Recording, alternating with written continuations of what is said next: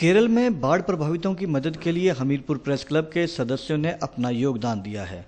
Hamirpur press club ने स्वयं और स्कूली बच्चों के माध्यम से एकत्रित किए गए कपड़ों और राहत सामग्री को केरल बाढ़ पीड़ितों को भेजा है।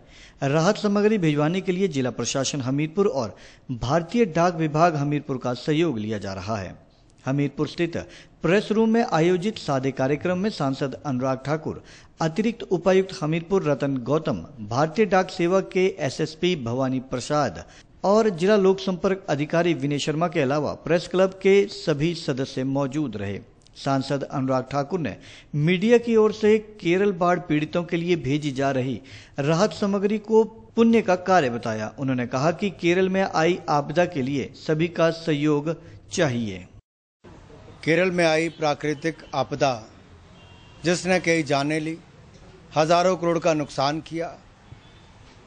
गॉड्स ऑन कंट्री को एक ऐसी हालत में छोड़ दिया कि वहाँ के हज़ारों लोग बेघर हो गए, बच्चे स्कूल नहीं जा पाए, जाने चली गई और ऐसी परिस्थिति में पूरा देश उनके साथ खड़ा नज़र आता है।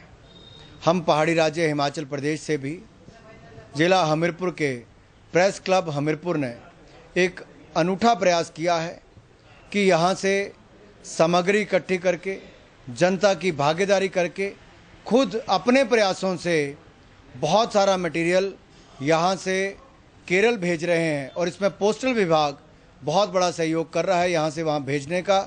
मैं प्रेस क्लब हमीरपुर का बहुत बहुत आभार प्रकट करता हूँ कि केरल में हमारे भाई और बहनों की सहायता के लिए दिल खोलकर इन्होंने जनता के माध्यम से सहायता की है। इनका बहुत बहुत अभिनंदन बहुत बहुत आभार।